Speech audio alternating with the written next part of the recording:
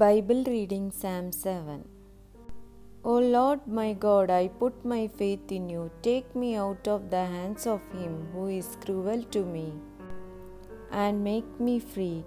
O so that he may not come rushing on my soul like a lion, wounding it, while there is no one to be my Savior. O Lord my God, if I have done this, if my hands have done any wrong, if I have given back evil to him who did evil to me, or have taken anything from him who has against me without cause. Let my haters go after my soul and take it. Let my life be crushed to the earth, and my honor into the dust. Come up, O Lord, in your wrath, be lifted up against my haters. Be awake, my God, give orders for the judging. The meeting of the nations will be around you. Take your seat then over them on high. The Lord will be the judge of the peoples. Give a decision for me, O Lord, because of my righteousness. And let my virtue have its reward.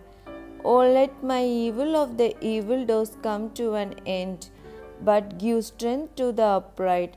For the men's mind and the hearts are tested by the God of righteousness. God, who is the Savior of the upright in the heart, is my breastplate. God is the judge of the upright and is angry with the evil evildoers every day. If a man is not turned from his evil, he will make his sword sharp, his bow is bent and ready. He has made ready for him the instruments of death.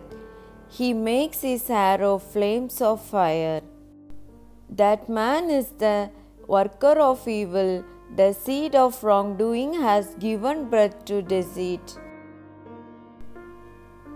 He has made a hole deep in the earth and is falling into the hole which he has made. His wrongdoing will come back to him, and his violent behavior will come down on his head. I will give praise to the Lord for his righteousness. I will make a song to the name of the Lord Most High. Amen.